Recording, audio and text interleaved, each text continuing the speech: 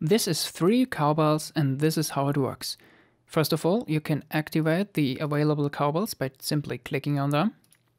You have control over the volume, panning, stereo wideness, reverb, the tuning, and where it should sit on the keyboard.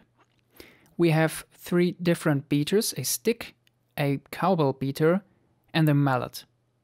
Then we have a true dampening function here. We have an additional power knob, which is for sound design, and we have a delay effect. You can control the timing here. Additionally, there are two microphone sets. So we have a close mic, which is mono, and a room mic, which is stereo. And they work in a MS mode. So we have the mid with the close mic, and we have the sides with the room mics.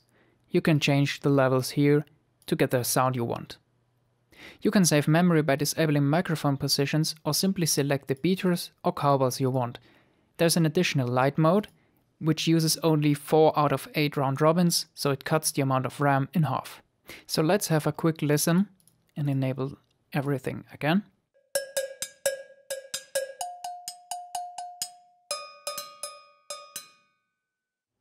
The cowbells are recorded with stick, beater and mallet, with 8 round robins and up to 5 velocity layers.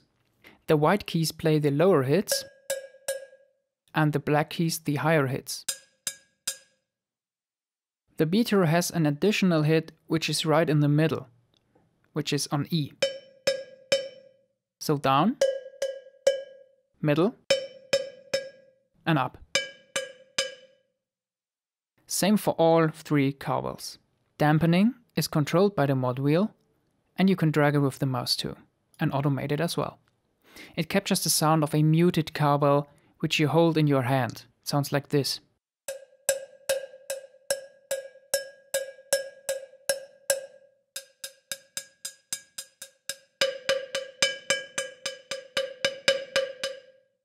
There are two master effects as well. The custom made power effect, which is a combination of tape saturation and distortion.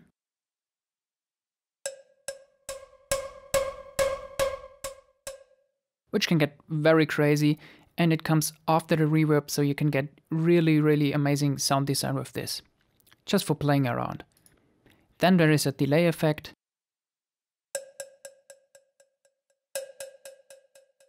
Dragging up and down, you can change the timing, or get really odd timings as well. And triplets.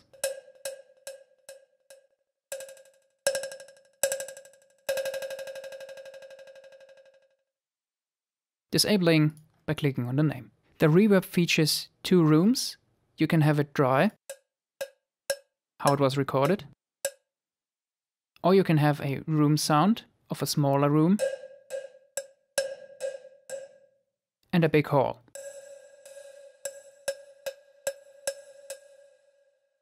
You can also tune it down. Those are semitones.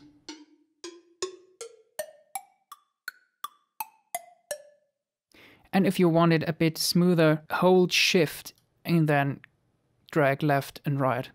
And with control, you go back to the default setting. Down here, we have the octave switch. If I disable the other ones, you can see that you can place it on the keyboard where you need it. And you can also put two cowbells or three on top of each other, so you have them to play together. And with using the panning knob and the widening to just get them narrower,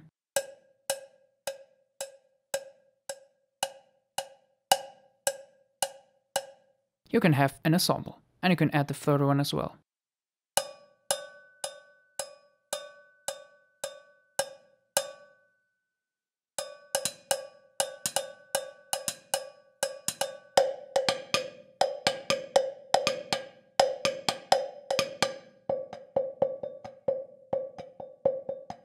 That's it. Thanks for watching and stay tuned.